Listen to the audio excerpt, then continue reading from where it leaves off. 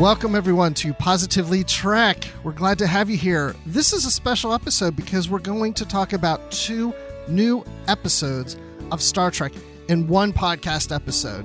I'm Bruce Gibson, and with me, as he always is, Dan Gunther. Dan, are you ready to talk about Star Trek?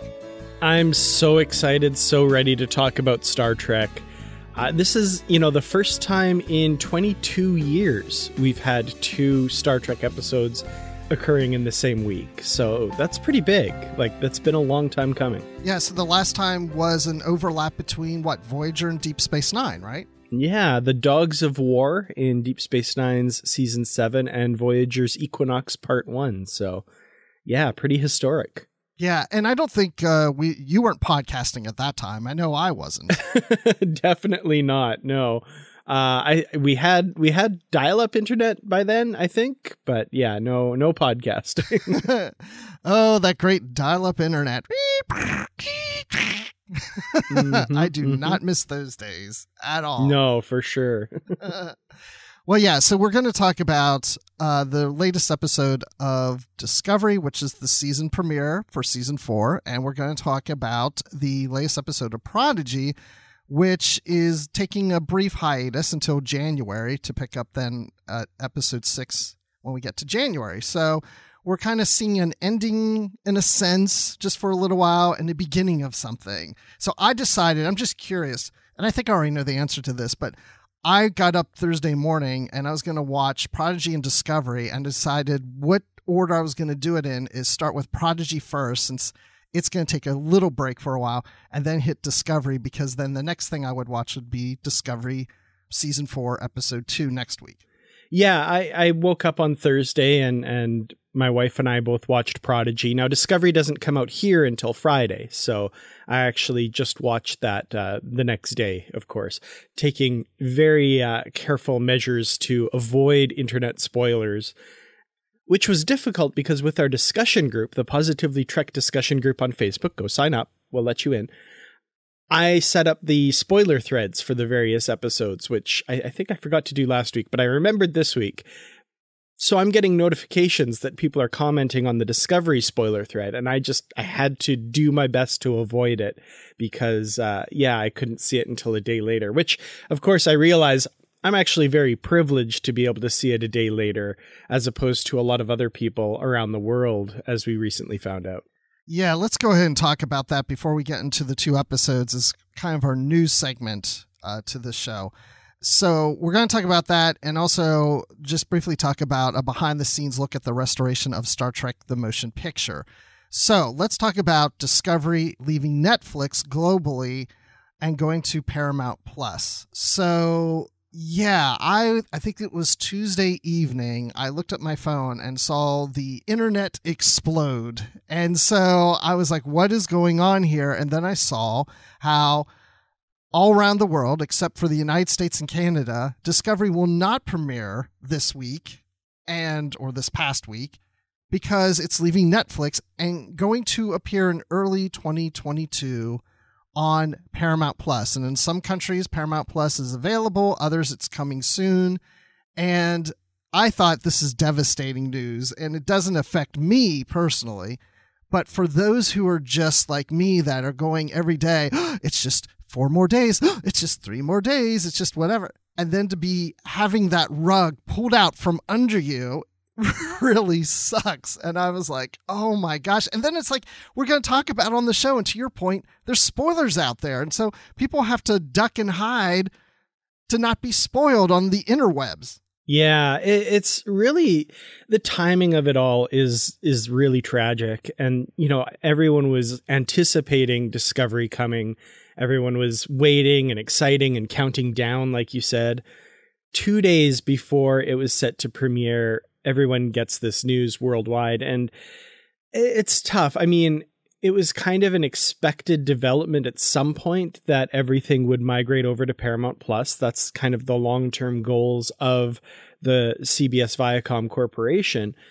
But the fact that it's pulled from Netflix at a time like like I said right before it's supposed to premiere and during a period where a lot of people don't even have access to the service it's going to be on yet really puts them in this kind of limbo for a few months, which is really frustrating. It's it's the growing pains of the Paramount Plus network, and I, I really the timing is very unfortunate because the just the fact that it, it's not so much that people will have to pay for another streaming service because people in the states are already in that boat. People in Canada have to get Crave to be able to see it if they didn't have that already. It's not that aspect. It's the fact that there's no avenue to watch the show legally speaking outside of North America right now. You know, just the fact that you're left with no options, basically and that that's the frustrating part. So my heart goes out to everyone out there who is really looking forward to the Discovery premiere, and I mean that even goes to the the, the actors and the people working on the show. They apparently had no idea that this was coming. I mean, DST happened just a couple weeks ago, and there were stars from Discovery there to promote it coming soon and like you said, the rug being pulled out from under them, just a perfect metaphor because I, I think this shocked most people, uh, including, like I say, the stars and that sort of thing. Yeah, I mean, there may have been people that were having parties planned to come over and mm-hmm. watch the season premiere. I mean, it was expected that was going to happen. And so you got caught up now in this business to business negotiations, working things out, buying out each other, you know, all this stuff. And that's the problem. It's business. But here's the positive to this because, you know, this Positively Trek. That is the name of the podcast. The positive of this is this will avoid this type of situation going forward because now Paramount Plus is the home of Star Trek because Viacom CBS owns Paramount Plus and the property, so they have control now of when future seasons and future series premiere. So now you don't have this oh negotiations between Viacom CBS and Netflix or with Amazon or whoever else. It's on their own turf. So at that point, going forward, you should be seeing the episodes at the same time as everyone else. At least you would expect that's going to happen because they have full control over it. I know some series like Picard and Lower Decks are still on Amazon, but eventually, and this could happen again when they try to bring them over to Paramount Plus from Amazon. But once things are there, they're there and they're going to premiere them probably globally all at the same time because it's on their own turf. So that's the good outcome of it eventually in the long run. It just sucks in the short term. Yeah, for sure. And and there might be more bumps, more growing pains as you say as things migrate from Amazon, the the two series that are still on Amazon. And, my me living here in Canada, uh, I'm definitely not immune. Like I'm waiting for the other shoe to drop with regards to their deal with Bell Media, and when, and I say when, will these series move from the Crave streaming service over to the Paramount Plus service in Canada, and will there be a, a similar kind of uh, mistake or, or bad timing, however you want to put it, with regards to a premiere date and that sort of thing. I, I I basically am looking at the rest of the world right now and being in Canada thinking there but for the grace of God go I. Because yeah we here in Canada are definitely used to kind of sometimes being an afterthought with these things. And it's it's pretty lucky that we're on a separate deal with CBS Viacom with regards to these series. We could very easily have been in the same boat. So yeah I like I say, my heart goes out to all of our international listeners, and and please believe that I am absolutely empathetic with what you're going through, and and I know I just know something like this very easily could happen here as well. So. Yeah, we even planned these episodes of our podcast to cover Discovery first in the episode and then Prodigy second because we we're thinking everybody's going to see Prodigy worldwide. But then Discovery, you mean? Yeah. I mean, yeah, Discovery worldwide, but then Prodigy is not going to be available right now in some areas, and so yeah, okay, it's just what it is. I mean, I heard somebody online mention like, "Oh, here in the states, you know, we went through this with Doctor Who." You know, I remember a friend of mine going through VPN into the UK to use the BBC iPlayer to watch new Doctor Who years ago because it was coming later to the states. And my mm-hmm. daughter is big into Miraculous Ladybug and Cat Noir, and she's had that issue where it premieres in some country it's it's developed in France, but it doesn't always premiere in France. Sometimes it premieres in another country and spoilers are out there and she's waiting to know when are we going to see it here, you know? So it's just the problem of international distribution. But like I said, once Paramount Plus, you should be safe in you know going forward. And to your point, Dan, yeah, I'm I don't know when the day happens with Bell Media. I don't know what it's going to be like even for this show. It's like a sword of Damocles hanging over. You know, I, I don't have any access to what the negotiations are or what the contract says or anything like that. So who knows?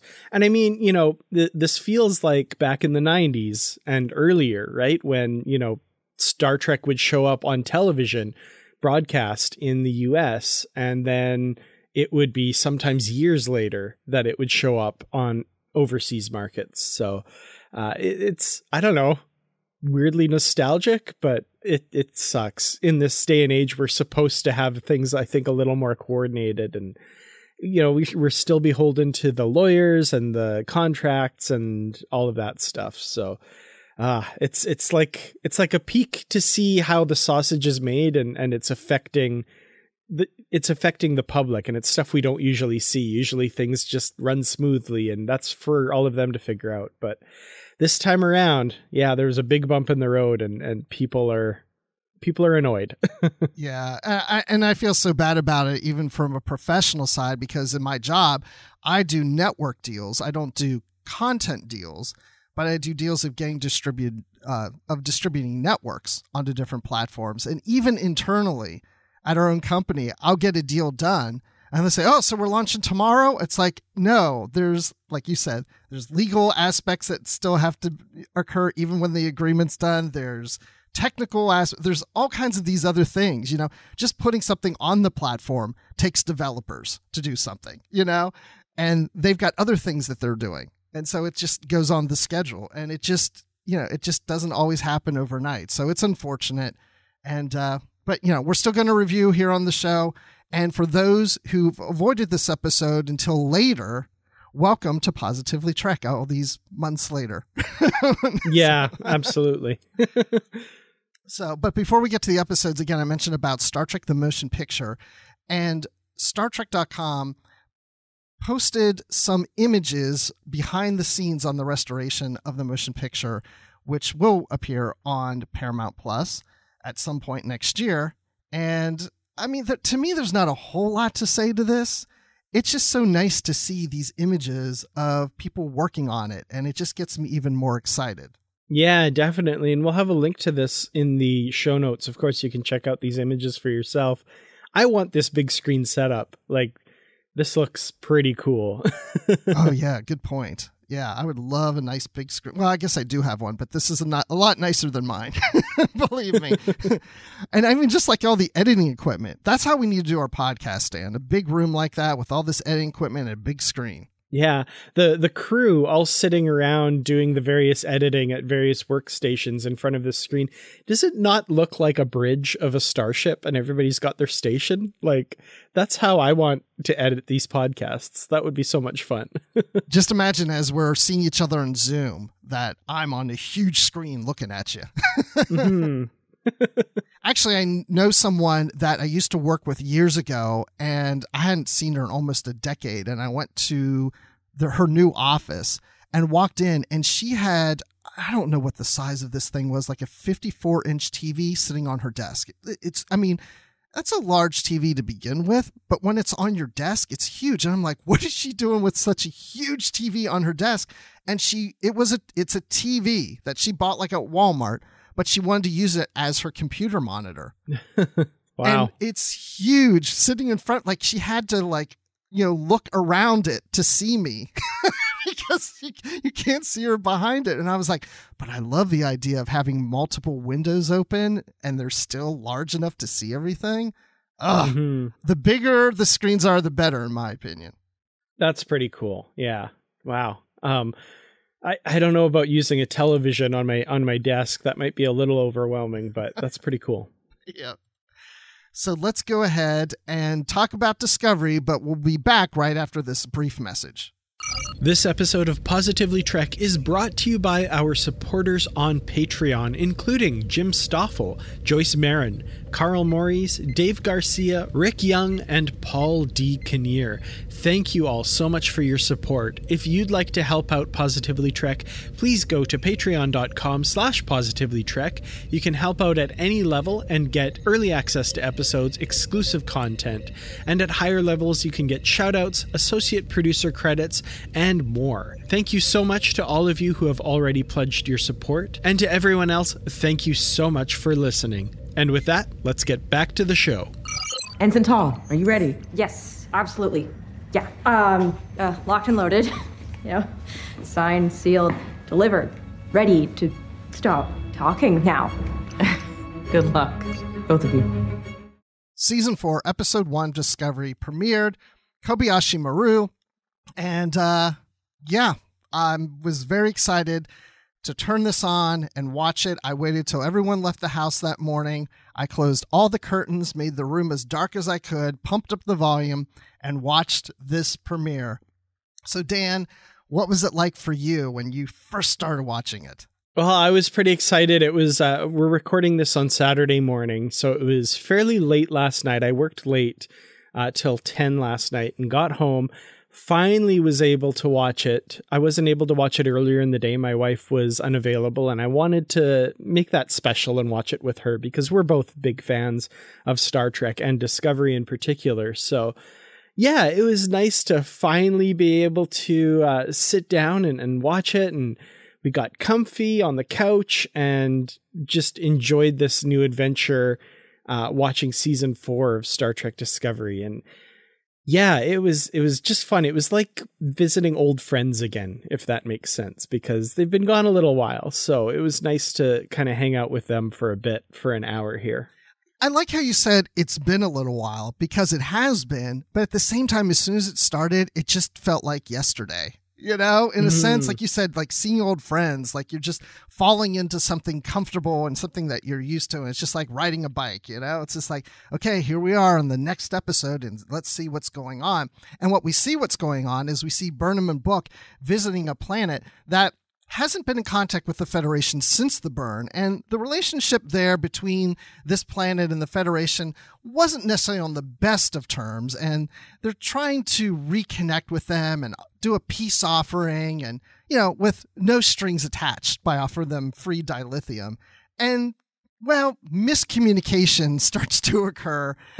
and uh, of course, especially when they mentioned uh, the queen and how they have this monarch that's on their ship and that they're keeping, you know, that is unhappy with how it's being treated.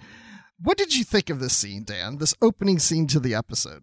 I gotta say, this was just such a delightful re entry into the Discovery world. Like, one thing that I really noticed was the timing between Burnham and Book, like these two actors are just like they're playing off each other, they're snappy dialogue. I was really enjoying that. And then when, you know, like you say, things kind of go bad and there's miscommunication and they start getting chased by these people and we the action moves between them and Discovery and we see the communication between them. My thought was this show seems to have really found its voice. Like the, it was just so well done and, and well paced and well edited. You know, Tilly on the bridge, is this a chase? Are you in a chase? And the yelling back and forth between them. Like it was just, it was really, it felt like these actors were all very comfortable in their roles. And I would say, you know, and, and, there's arguments to be made that this happened earlier, and I think it did, but also I, I think at this point, no one can deny that this group of people have really found their voice as a Star Trek series and they just they just seem so comfortable in these roles and so natural. That's what I took from mostly from this opening sequence. Yeah, I, I did too. And that's something that I've noticed like in past Star Trek series and other TV series where the cast becomes more comfortable. They're more comfortable in their roles. They're more comfortable with each other. And you start to see them loosen up a little more. And they've kind of like they put the clothes on in the first season and it fits well, but they're still adjusting to it. And then it's just like now it's just like an you know an old coat and an old pair of pants that always fit so comfortably and, and they can just express themselves better. And I, I got a lot of bad robot film vibes from this. Uh, hmm, I can see that. Yep. Yeah, I was getting a lot of vibes of that. Which at some oh, point, why is there always a cliff? right. Which is funny too because we'll get to it later. But there's a cliff in Prodigy on that. That's episode. true. Yep. and yeah, there's a lot of cliffs going on, so I, I appreciate that. At the same time, I thought the the scene was maybe a little over the top, you know, because I, I have to tell you, it drives me crazy even in Star Wars. But when a bunch of people are shooting at you and you can just run and run and their aim is so off, and we got a bit of an explanation here because their navigation because of the you know the gravimetric poles of the planet or whatever, and um, I mean the magnetic poles and the satellite arrays around the planet are off and they, they can't navigate through as well until they get the satellites up and going again. So maybe that's why they were bad shots. But even after the satellites got up, they're still bad shots. you know, and that just drives me crazy. Even in the first episode of Prodigy, there or maybe it was the second one, whatever. But they, you know, as the our crew was trying to get on the ship, people were shooting at them and just missing. And I'm like, why does everybody miss? Mm-hmm. like, is everybody stormtroopers? Yeah, see, that didn't bug me in this episode because, like you said, they actually call it out and give an actual reason. What did bug me, though, is when they get to the end of the chase and they're hiding behind this thing. And I'm like, these guys fly. Like, why aren't they just coming around? Right. Why? Just, just keep going and shoot at them from the other side. Yeah, that, that, that was the part that I was like, wait. Yeah. it was a little weird. Yeah. So yeah, I mean, to me, it was a little over the top, but it was fun. It was a great way to just kind of have a little fun to kick off the season and, and, get into the story. So I did enjoy it. So at but at this point too, as we're early into the episode, I think I, in my opinion, I felt the show did a good job of establishing where things are at this point with our crew, with the Federation. That some time has gone by the crew has established their place within this new federation and they're going and helping these other planets rejoin uh, communication or rejoin the federation after the burn. And I, I thought it works well. I didn't feel like they missed anything. I felt like it was really well established. Hmm yeah this world is really it, it feels fuller than in season three and and we're kind of finding out our place here.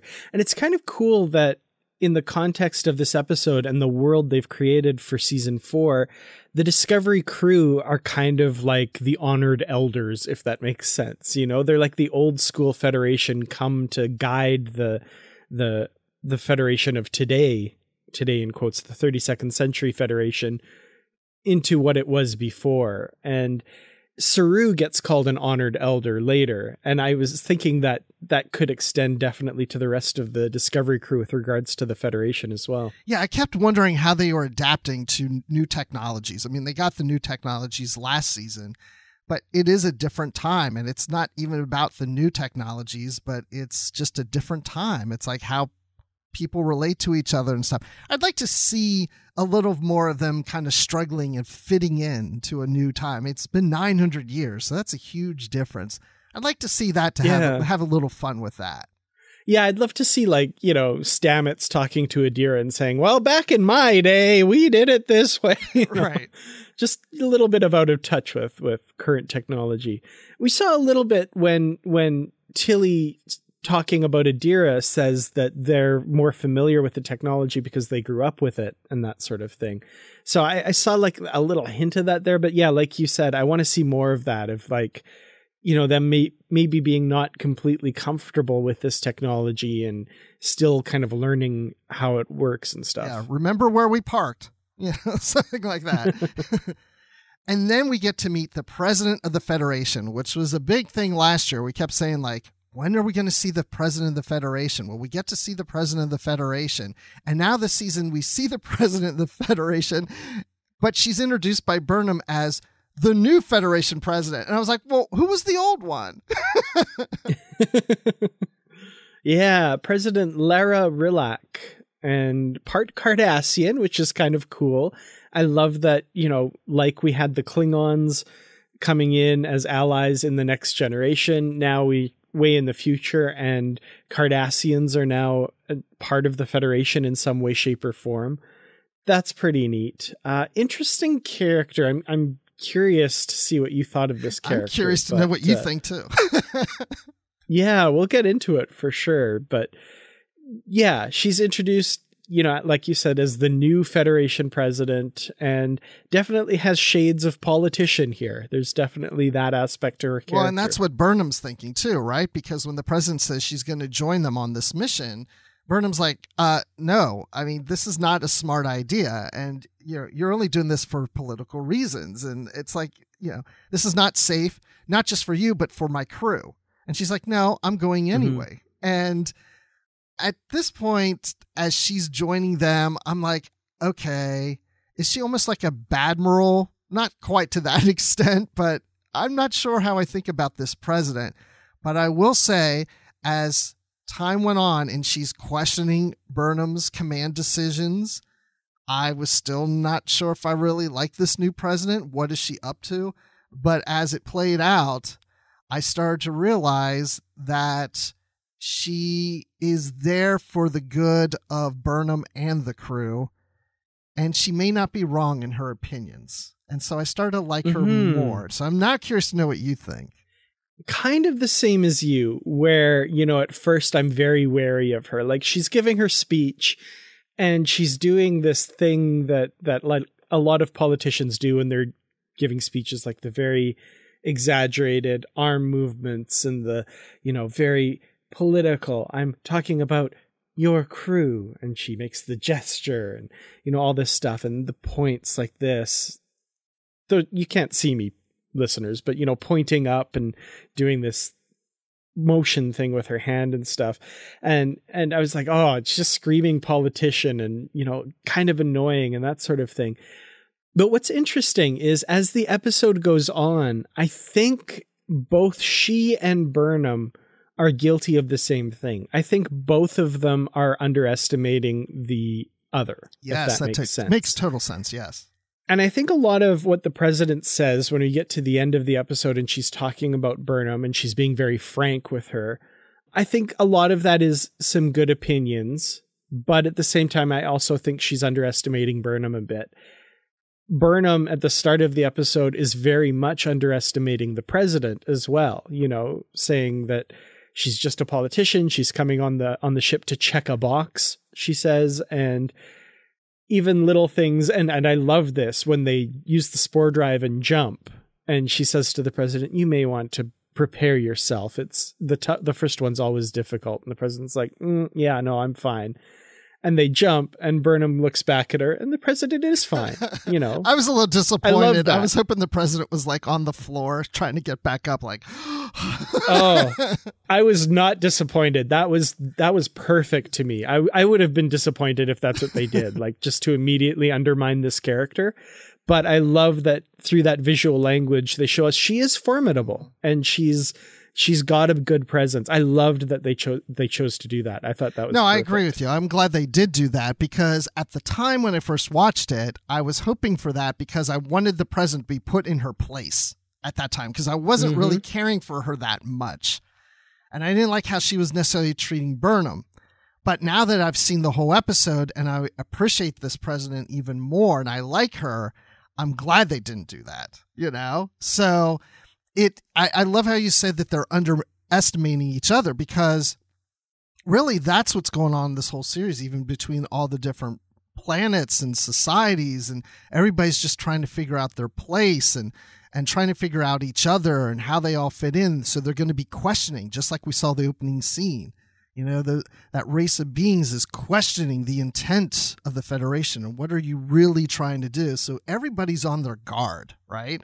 And everybody's trying to lay out their path and try to determine what is the goals of the others. And so we may see this play out continuously like this throughout the whole season. So yeah, I really enjoyed the president and the dynamic between her and Burnham. And you know, she's pointing out some things to Burnham that it's like it does Burnham take too many chances, you know? I kept hearing Kirk saying risk is our business. And I thought, well, that's what Burnham mm-hmm. is, right? But does she take it too far? And well, maybe she does because this is a TV show and you have to have a lot of fun and adventure in it, but it always proves out to be the right thing. Yeah, and there are a ton of parallels between Burnham and Kirk, and and people have pointed this out over many seasons, but it's very true. And I love that this episode kind of centers around the idea of the Kobayashi Maru, because one of the big criticisms of Kirk in Star Trek II: The Wrath of Khan, as Saavik says, then you've never really faced the no-win scenario. You've never faced death at the end when he, when Spock is lost and and they've paid this huge price. And it took that adventure for Kirk to realize that he does take too many risks and he hasn't really lost like this before. And I'm wondering, I, I, I don't know what the rest of this season holds, but I'm wondering if they're setting up a loss like that for Burnham. And if that's going to be like a reckoning for her, where she realizes that you know, maybe she hasn't well, I mean, she has faced loss. Like, let's be fair, she's had a very tragic past. But as far as her captaincy and command in in Starfleet goes, you know, maybe she hasn't faced that Kobayashi Maru scenario yet. Like she kind of dismisses it in this episode. She says, "You know, the test's rigged." They don't tell you that, but you know, all this stuff. So I wonder. I, I, feel like a real life Kobayashi Maru is coming. Dang it! I could be wrong about that, but that's what no, it feels but like I feel me. like you're right. Now that you're saying it, first of all, I wanted to mention the test is rigged. She said, and I just wanted to say, does she know her brother's the one who created it? but at the same time, as you're talking through this, I'm thinking, book. You know, as you're talking about the dynamic between these two characters. Oh no what would be the big loss for her? And I feel like it would be Book at this point. No, no, no. Don't say that. la, la, la, la, la, fingers in ear. I mean, really, it could be anybody. You know, it would have a big effect on her. You know, Tilly or Saru or who. You know, we we could go on, but yeah, that was the first thing that came to my mind. You know. Anyway, I I don't mm. want to harp on that. Let's forget about that. Like you said, la la la la. but I, I think that's a good point because there's always some lesson that Burnham learns in every season. And the way this episode's starting off leads into that direction of some kind of loss is going to happen. Mm-hmm. Or maybe she proves everybody right that she makes the impossible possible. I don't know. Could be. Oh gosh. Ugh. Okay, I'm sweating now. Um, let's talk about Saru because that that's a little more tame for me right now. So first of all, the first thing I notice as he's on Kaminar is that they have that little symbol, you know, on their chest that we kept questioning when we'd see images from season four. He's in his Starfleet uniform with this emblem on his on his chest, and we were like, you know, what is that? Is that you know, does that mean he's an ambassador? Is that something from Kaminar? Like, what is that? And now we know that's just whatever the Kaminar symbol or whatever that, that these people who work on this council wear. So at least we know what that part is. Yeah. And it, the pictures that we see later of him in the uniform with that on make sense given a lot of the scenes that we see in here where Su'Kal is talking to him and he says, you know, there's you can have balance. You can you can represent Kaminar and be with the Federation and Starfleet and stuff. So that that symbol and the uniform together is just like a physical manifestation of that balance. I think that he's going to live in these two worlds that you know, as we learn in this episode, don't have to be two separate worlds. They're all one big community. So that's interesting. I'm I'm curious to see what he'll his role will be when he comes back, and uh, yeah, it, it's going to be a fun season for Saru, I think. I think he's learning a lot about himself and finding his place. Yeah, I, I think I like how this is being handled so far. That he'll have like a dual role in Starfleet and on Kaminar. So, uh, without being an ambassador or some other title, it's just he can have his hoofs in two different places. and uh, I'm I am curious to see how that all plays out. But I, I enjoyed those scenes uh, with Saru and Su'Kal. And uh and Su'Kal's grown, you know. He's got his confidence, he's got his friends, he's established himself on Kaminar, and so um I feel good about him. I hope we see him again too. I hope so too. Bill Irwin is so much fun in that role. And like his delivery of all of those lines, he's just so good. I loved when he called Saru the father he never knew. And oh, that's just tugging at my heartstrings. Even though Su'Kal is is so much older, I think, than well, Saru, true. for example. Well, I don't know. Saru but, was born first.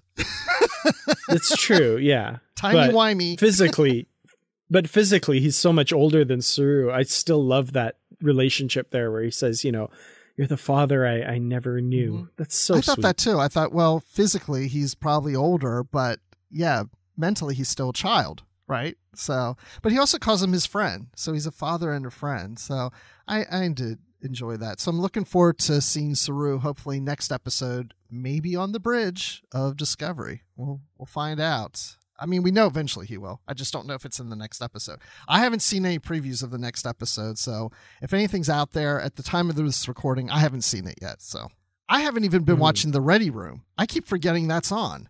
Yeah, I haven't been watching it either. No, I need to get back to watching that because you know I miss hearing Wil Wheaton say, "Hey, nerds!" At the beginning. You know how much I love that.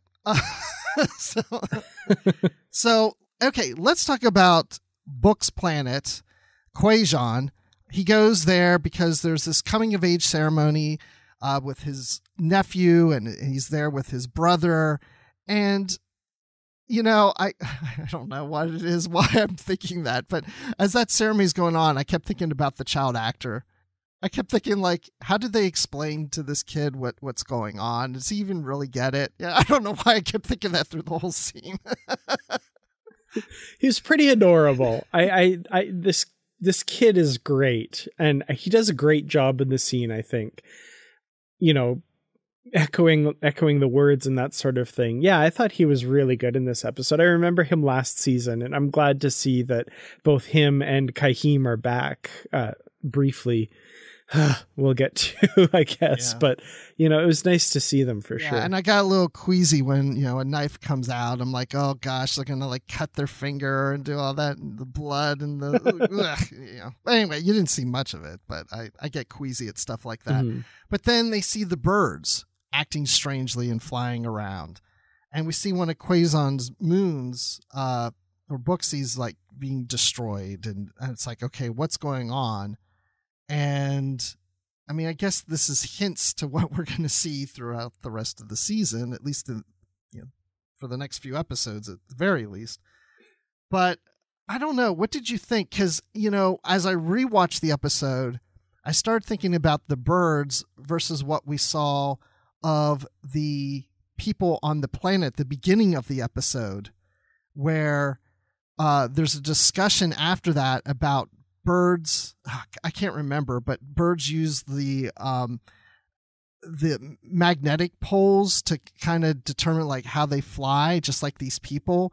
And so there's a relation mm. between that you know that things are off. The gravimetric pool of things is off and so that's why the birds are flying weird. Yeah they're reacting to the the gravimetric distortions right. yeah. Yeah. So what did you think of all that? Did you have any idea what was happening at that time well, yes, just from the the trailers and previews and stuff. right. But but as far as the episode goes, you know, you're right there with the characters. It's a mystery what's going on. Let's investigate this. We don't know, but uh yeah, I, I guess just from what we'd seen in previews and stuff, I kind of knew it was a gravitational anomaly of some sort. Yeah. Yeah, which is sad that sometimes we get previews because it kind of hints we we know the little hints of of things to come but I didn't expect to see the disintegration of the planet at the very end yeah. of the episode. And I was starting to feel just as emotional as our characters. And I, I just I felt it for book. What a gut punch. I was uh I was actually kind of just in disbelief as, you know, the characters are in disbelief as to what's happening in front of them and I'm kind of in disbelief as to like I can't believe they wrote that this happened. Like what? Like they killed all of Book's people. This the planet is gone basically. completely, you know, there's nothing that can survive on the surface of that. And so his brother and, and nephew are gone, I'm assuming. I guess, yeah. Oh my god, that was brutal. Like that was a gut punch at the end of this episode and um yeah, that hurt to watch to see Book's heart breaking and the disbelief on the faces of the crew as they they're witnessing this. Yeah, I I'm I'm like really eager to see next week's episode to be like, you know, what are they going to do? What's going on? Oh my god. And and just like, ah, I can't believe they just wrote off Book's Planet like that. I know. It's I guess there really isn't a whole lot to talk about because it's at the very end and we don't know details to your point. Is his brother okay? Is his nephew okay? Are they all dead? I you know, I I don't know. I mean, of course that's going to be the focus of the next episode. So yeah, I was I was a bit surprised and then I thought, well, now I know why we had that whole coming of age scene. So we have, you know, reintroduce ourselves to those characters, reintroduce ourselves to the planet, be sympathetic to the whole situation once this happens. So, you know, Mhm.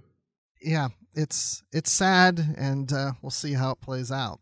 It was really sad because seeing Kwejian earlier in the episode, I remember thinking at the time, like, oh, that'd be cool if we see more of that planet and these people throughout the season. And if that's kind of like a bit of a home base for Book and we see him interacting there more. Yeah, I guess not, but hmm. See, it's your fault, Dan, because you were hoping for something, and CBS heard you hoping you wanted that, and they're like, "No, we can't let him have that. We have to Uh-huh. throw him off." so, I apologize to everyone. it's like somebody says, "You're like, don't say that, because now it won't happen." You know, it's like that. so yeah, I thought it was a really good episode. I really enjoyed it. Uh, I do want to give some special call outs to things. You know, our friend Brandy saw the episode before we did and said she had a very big crying moment, but she always has crying moments. But I thought there's got to be something extra crying in here. And as soon as it occurred, I was like, this has got to be that moment. Mhm, And that's when they mhm. talk about the Archer, what was it, the Archer Station or something? Space Or- Dock. Space Dock, the Archer Space Dock. And then that Archer's theme starts to play. And That was was, like, "Oh." incredible. that was really cool. Uh that was that was and yeah, so the president is introducing the new Archer space dock to the the Starfleet cadets and it lights up and the Voyager is sitting in the space dock and yeah, like you say we hear Archer's theme play over it. Ah, that was so nice to see Enterprise get some love there. I loved that. Yeah, I can't wait till the f- soundtrack comes out to that. That will be fun to have. Mhm. So, yeah, that was a moment. I also enjoyed seeing the various uniforms. I mean, we saw Mhm. the cadets in Starfleet Academy. We saw v- various uniforms that Burnham's wearing. And it was just, I don't know, it was just, it wasn't like everybody's wearing the same Starfleet uniform thing. You know, I like the various uniform types. Yeah, I, I love the uniforms we're seeing this season. Again, everyone looks really comfortable.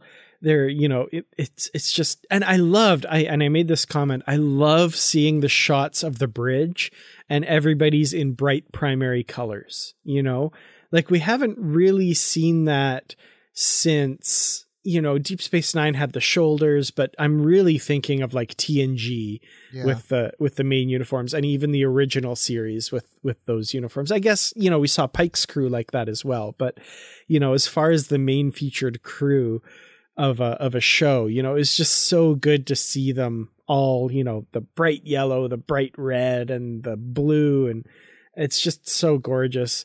Seeing Adira in a uniform and that they're an ensign, that was pretty cool. That was neat to see the one person I thought looked kind of uncomfortable in his uniform, though, and I don't know why, if it's just like his personality or how he moves or something. Stamets, when he's running around like engineering, doing like damage reports and stuff, he just looks like he's just like scrunched up his shoulders and he's like, I don't know. It looks like he's got too much starch in his collar or something. He's just, he seems uncomfortable. I don't know why, but he just was like, I don't know. Oh, I don't, uh, just moving around weird. But now you I want to go back and watch that scene. I don't know Like, why. Just there were two separate scenes of him kind of doing that, and I was like, why does he look so uncomfortable?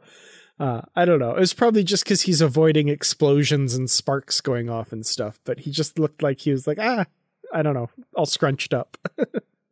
I like how when Adira and Tilly beam over to that space station, he asks, "Is Adira all right?" Oh, and Tilly and everybody else.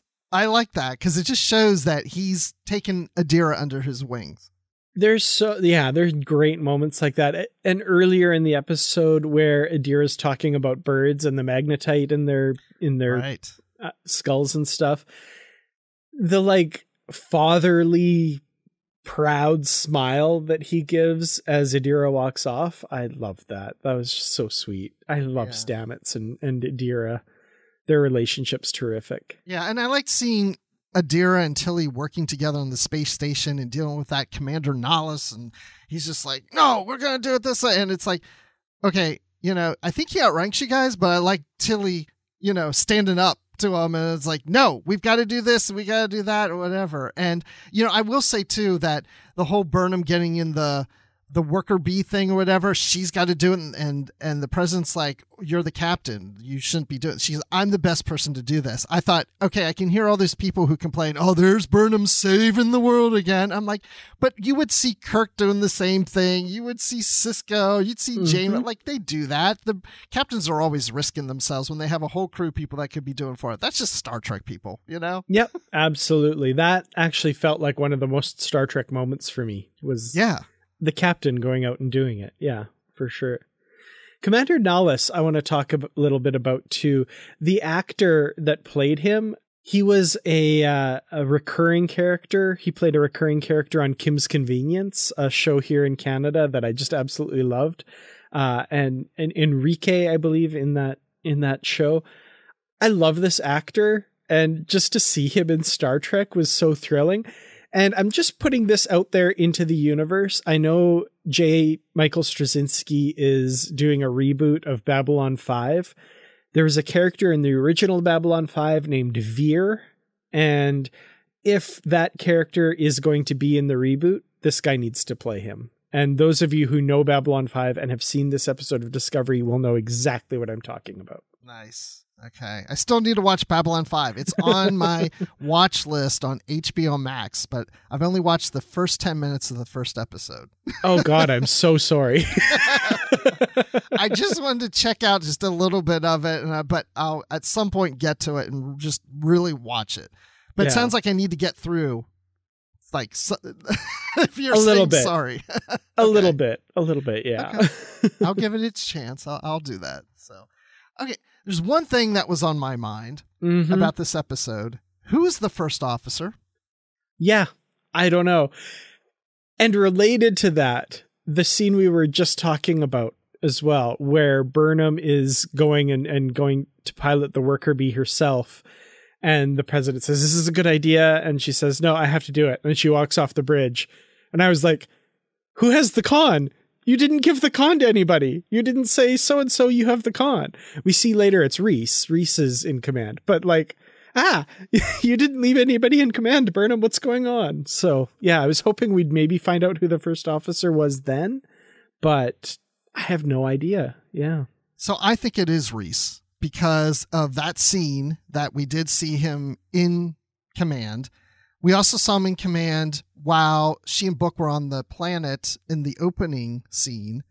Mhm. And there was something else, and I, I don't remember when, but there was like a brief exchange between her and Reese that also made me think, well, that's something that she would probably do and turn to to a first officer. And so then I looked it up because I don't remember what everybody's ranks are, and it's changed now too because everyone got promoted, but he is a lieutenant commander.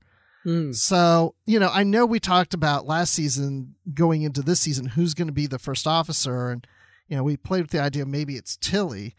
And it, to me, it doesn't lean towards Tilly, which makes sense, especially if Reese has a higher rank. So I Yeah. think it's Reese, but they're not playing that up because they're saving that seat for Saru. Hmm. That yeah, that makes sense. Yeah, acting first officer kind of thing or something. Yeah. Right, right. And he would still have the rank of captain. hmm but yeah, to your point, like an acting first officer on the ship. That's what I think is going to happen. Yeah. So yeah, I mean, in Star Trek's four, five, and six, Spock was a captain, but was first officer under Kirk Exactly. of the Enterprise A. Very briefly at the end of Star Trek four, but you know, five and six, yeah. Yeah. So I think I think that's the route it's going to go. But we'll That see. makes sense. That would be an interesting dynamic to see. Yeah, I just want to see a scene where Burnham tells Reese, um, you're not first officer anymore. Okay. All right. Let's move forward. yeah. But I mean, I it, it doesn't really, really bug me. But yeah, the fact that Burnham left the bridge without saying who is in command, like even in TNG when Picard left the bridge and Riker was there, like you could just naturally assume Riker's in command, but Picard would always, you have the bridge number one, you know? yeah. I just, I was like, ah, who's in command? Yeah. They should have had her call out who was in command at that point. Yeah. Just So, yeah. those little tiny Star Trek bits that I've always liked. You know, one of the things that I remember in season one of Discovery that I specifically wanted more of when Lorca was in command was in the original series, you know, people would bring things for Kirk to sign just randomly about like, you know, fuel consumption reports for the ship and that sort of thing. And I just always loved that kind of busy work of a starship that goes on in the background. And I always wanted just that little piece brought forward. And then, yeah, and this one, just, you know, the captain saying, so and so, you have the con or something, you know, that's just part of the Star Trek language that I love. So, Yeah. Yeah, like when she got on the turbo lift and she turns and the doors are getting ready to close. She should have said it then. Reese, Yeah. you have the con. Doors close. exactly. That would have been good. So, overall, final thoughts of this episode.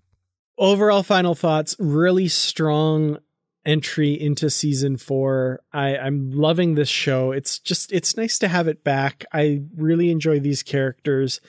Seeing Burnham in command is just a treat. You know, she was destined to become the captain at some point. You know, that's kind of been the arc of her character. And to see that happening here and, and her fully in command, really great to see. And her rapport with Book is just one of the special things from this episode that I really enjoyed. So, yeah, really strong opening. I'm going to have to give it a whole bunch of really cool butterfly people who are flying straight and true now because the satellites are fixed. okay, that's good. Uh, I'm going to have a similar type of rating, I think. I'm thinking that I really did enjoy this episode. There wasn't really anything I didn't like except the first opening scene. I thought was, like I said, a little over the top, but it was fun scene to watch. It reminded me of the Kelvin Timeline movies.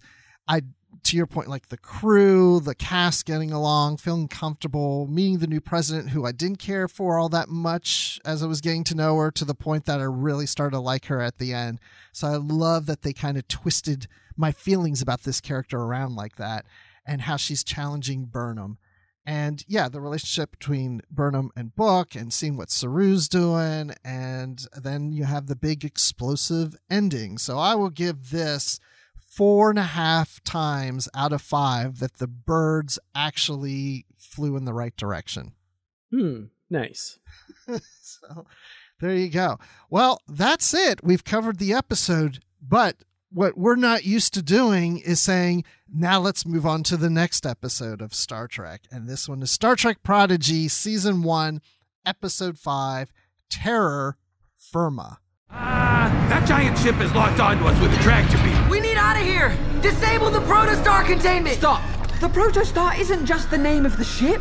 The engine is a protostar. Whoa, whoa, whoa, whoa, whoa. So we're carrying around a baby star inside the ship?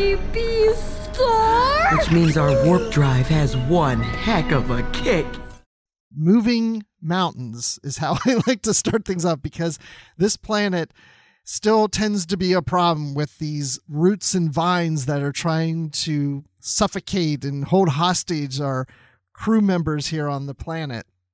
And we pick up from where the last episode left off, and our crew's there with Gwyn, and they're like, you know, you put us in this situation, and and Dal seems to have all these issues with Gwyn. You know, we wouldn't be here if it wasn't for you. We, you know, it's because of you that we're in this situation and and you tried to steal the ship and now the ship crashed. It's always your fault. But the rest of the crew is very forgiving. Oh but you know she saved murph you know?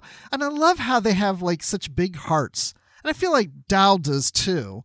He, he does come around with gwyn. And I, i'm really liking this group of people yeah, this was fun. I, I think this episode for me personally is a step up from last week, which I don't know, just I didn't enjoy quite as much. But this episode, I felt I really enjoyed it. And yeah, their their rapport on the planet as they're wa- trying to make their way to the crashed protostar, the whole thing with Gwyn and her, you know, having a, a compound fracture and and not being able to move that well and Dal initially says, Leave her behind. We're not going to let her slow us down. And Rok-Tahk offering to help. But Gwyn, of course, being very independent and kind of stubborn, you know, uses her little morphing metal thing as a brace and won't accept the help. And I, I don't know. There's just so much of the personality of each of these characters showing through.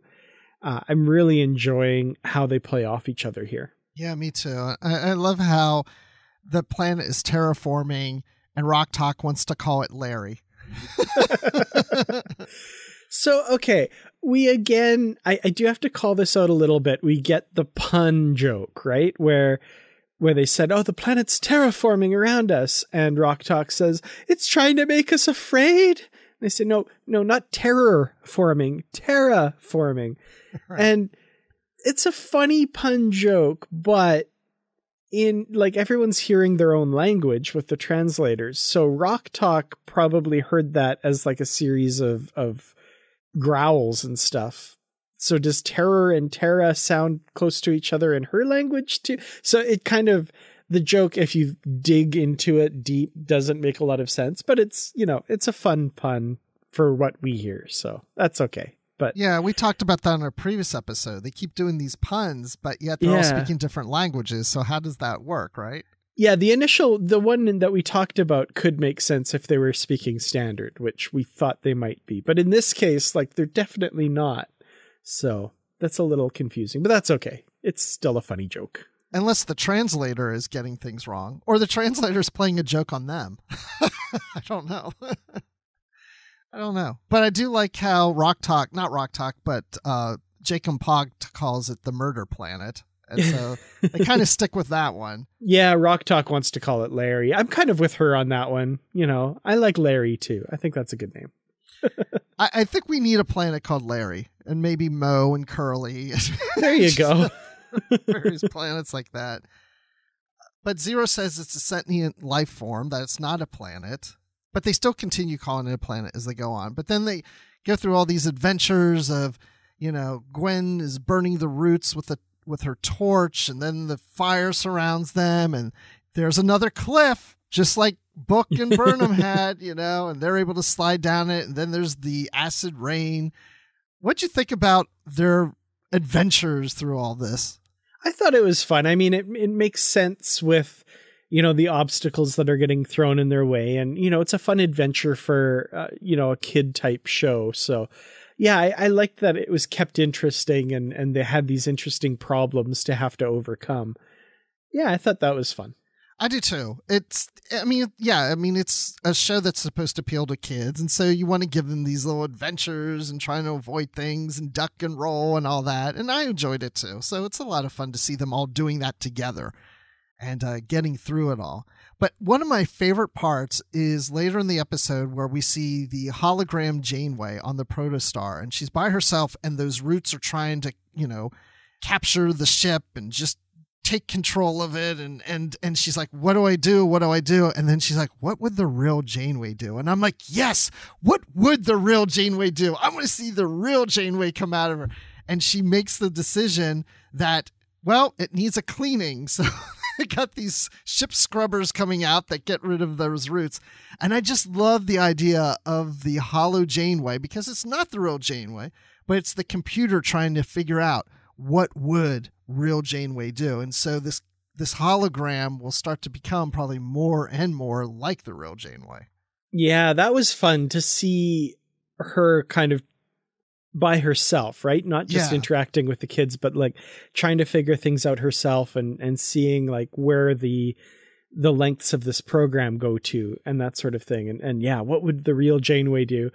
And I totally pictured the real Janeway in her command chair giving that order and then saying, looking intensely towards the camera and saying, Time to clean house. Like just giving a Janeway one liner there. I was like, Yeah, that's great. Yeah. That's perfect.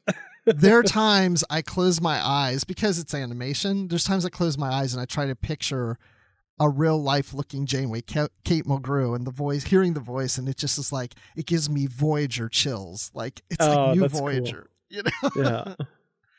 Well, then we find our crew. They end up on a crashed bird of prey. And I just have to say, what the heck is a bird of prey doing in the Delta Quadrant? Like, I'm just like, so, like, I have to say, I'm just a little annoyed with so many Alpha Quadrant things being in the Delta Quadrant, but I keep telling myself maybe this information will be revealed later, and I'm I'm playing with headcanon stuff, but at the same time, look, it's not the first time we've had Klingons in the Delta Quadrant. I get it, but we're just Mhm. tapping in the Alpha Quadrant a little too much for me. Yeah, I'm I'm feeling the same a little bit. You know, it's it's a little strange that there's so much alpha quadrant stuff in the delta quadrant, which is interesting. I said kind of the same thing about Voyager when I was watching it. You know, there's every you know, every season they find something from the alpha quadrant, which seemed a little like, you know, space is big. It's very very very big. It it seemed weird then and yeah, it seems a little weird now. And like you, though, I'm hoping there's some sort of explanation that comes along. I don't know that there will be. I'm I'm getting less and less convinced every week that there's going to be like some sort of big explanation that will satisfy all of the questions, but it's possible. But it it does seem a little strange at this point. Yeah. I'm I'm with you. I was thinking the same thing. Like I I don't know if we're gonna get an explanation. We're just maybe supposed to accept that for some reason a bird of prey is there and what else is going on these other things. But I will say what I really liked about the bird of prey is Jankom Pog is on the bird of prey and it makes him miss being home. Hmm. And I thought, oh, he does remember the Alpha Quadrant. He recognizes the ship, and it's the first time he really misses home. And he talks about, you know, this not being a sleeper ship.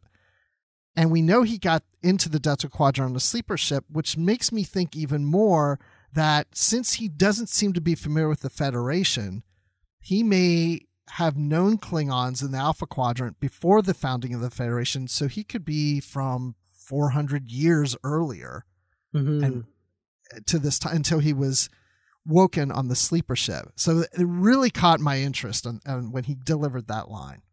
That's interesting. Yeah, I'm I'm really looking forward to learning more.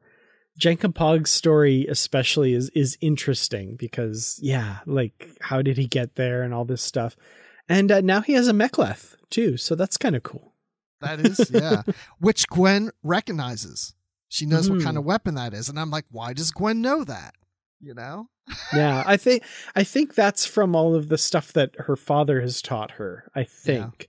But, you know, why and where did he get all that information? I don't know. Interesting. Yeah, yeah. I'm always coming out of these episodes with little questions like that. You know, like why is this? Why is that? You know, Ugh, I want to know. And now we got to wait till January to get to the next episode. So at least Discovery's going to keep my mind off of it for a while. But I did like the scenes between Dal and, and Gwyn on the ship about, you know, just their dreams and, you know, the things that are missing in their lives that they want. And he doesn't know who his parents are, he doesn't know what they look like. Of course, her want is having a father that really loves her and really cares about her. And it was just a nice scene to see these two bonding more together and looking at the stars. And I would say that the whole all that whole scene, all, everything that takes place on the bird of prey was something I, I really enjoyed. It was a good moment for the, for all the characters. Yeah, it was it's a moment to kind of stop and breathe and take a little bit of downtime. That was really appreciated for sure. And I, I, like that. It can't be just action all the time. I love these little character moments for sure. Yeah, and they have a little campfire, and I'm glad they weren't passing around beans like Kirk, Spock, and McCoy. So they didn't go there. but speaking of Gwyn's father, he does arrive and he's in a moment where he sees Gwyn being attacked by those roots and vines and also he sees the protostar in the same manner. And she's like, Father, Father, help me. And he has to make the decision. Does he go for his daughter or does he go for the ship? And of course, the jerk that he is, he picks the ship over his daughter. And I was like, oh, what a jerk. I, those, that's not the word I really want to use, but I'm trying to keep it clean. And I mean, if anything speaks to her then about how her father thinks of her, it's that moment. And yeah. that's that's the nail in the coffin. Yeah, definitely. That was a heartbreaking moment even though you know where it's going. Like you know what's going to happen, but it was still a little bit heart-wrenching seeing, you know, she's there, she's getting swallowed up by this planet and he does hesitate. He looks back, looks at the ship, looks back, looks at the ship, which is almost worse because it wasn't it wasn't an absolute heat of the moment like he just wasn't thinking and and went for the ship. He considers it. He stops. He takes a moment. He weighs what is more important to him. Then he makes the decision and turns his back on Gwyn and goes for the ship. And oh, how like just despicable and ah oh, man.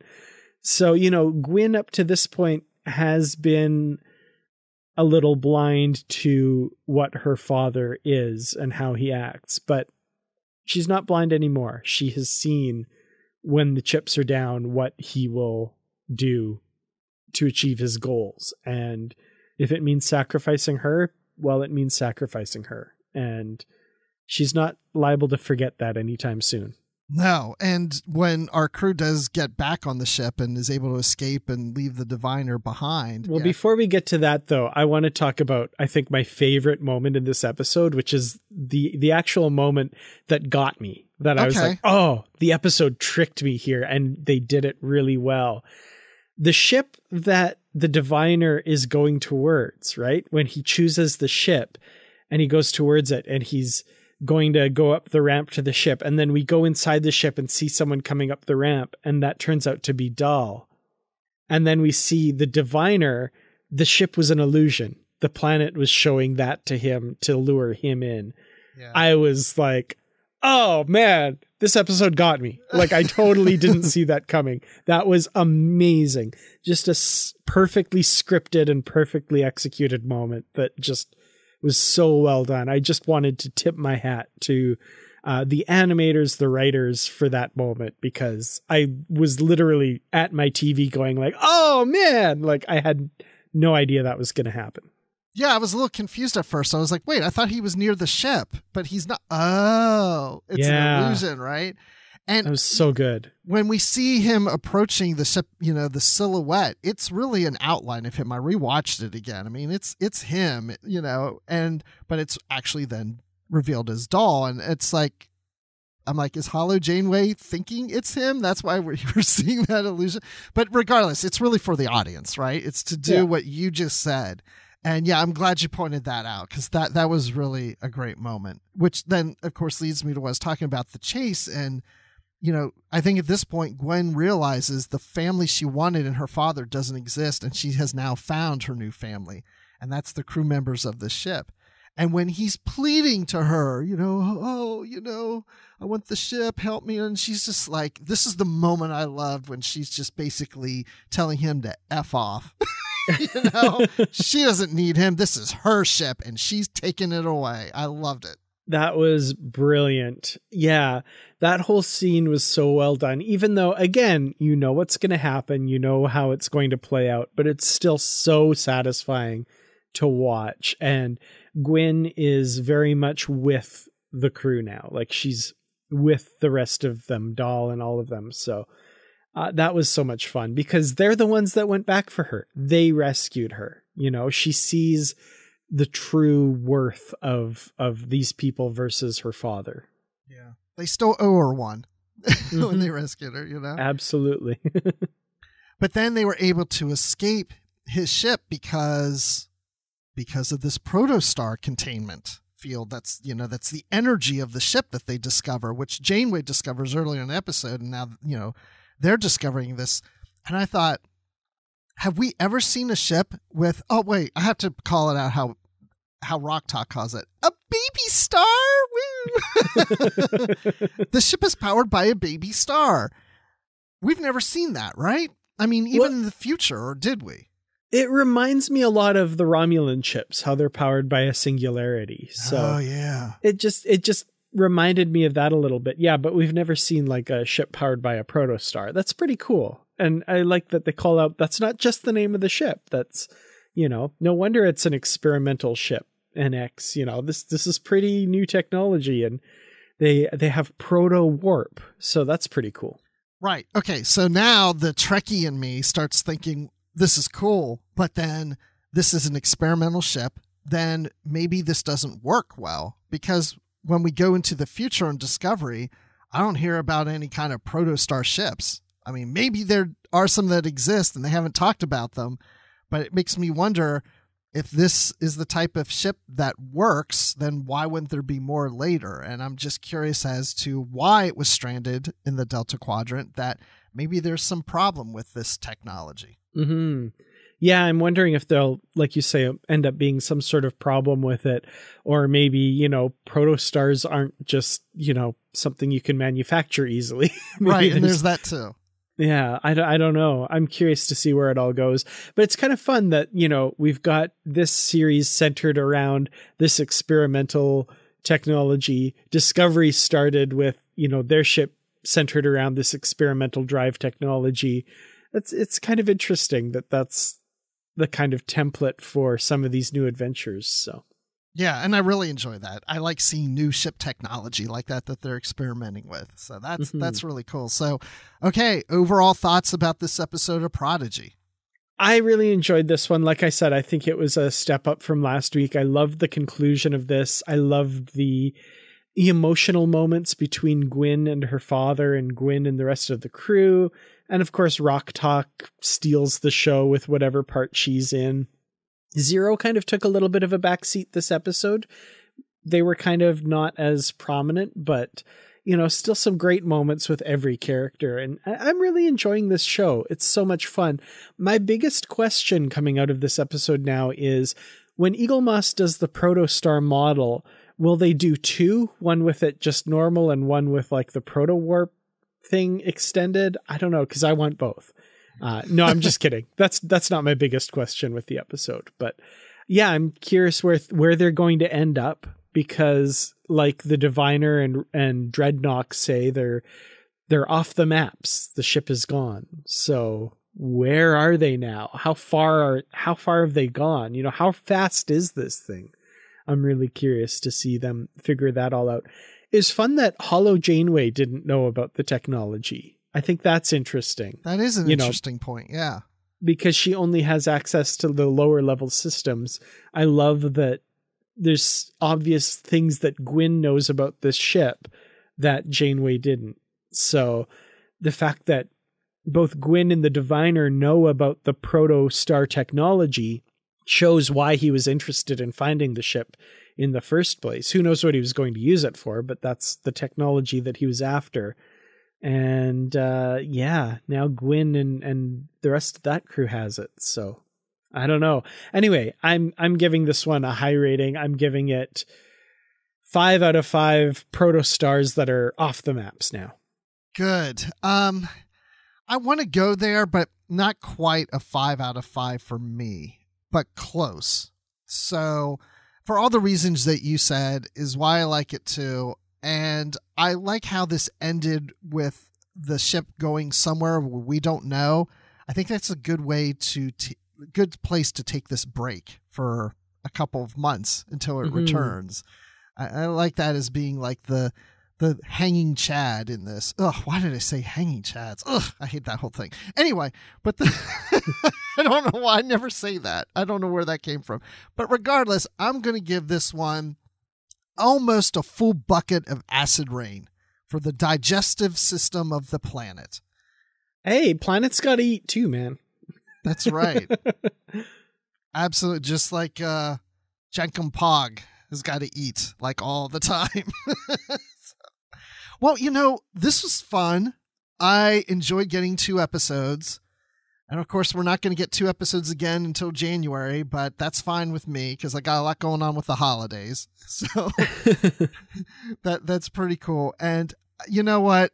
As we were wrapping this up, talking about Prodigy, and as we just talked about Discovery, I'm just thinking how much I love Star Trek and how much I just love the new stuff too. Like I'm having mm-hmm. so much fun with this stuff. That's the thing, you know.